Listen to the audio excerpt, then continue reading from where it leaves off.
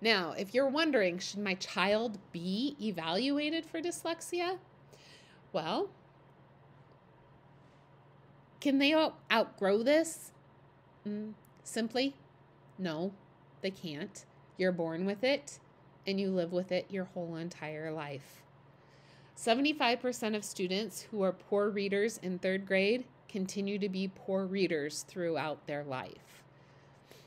The time is precious. Time is the is a dyslexic's most precious commodity. The sooner they're evaluated, the sooner they get that diagnosis for dyslexia, the sooner they get accommodations or modifications, the better for them. You can get remediation sooner. It will preserve their self esteem. Ideally, intervention should start no later than first grade, which is a real problem when most dyslexics aren't even identified until at least third grade.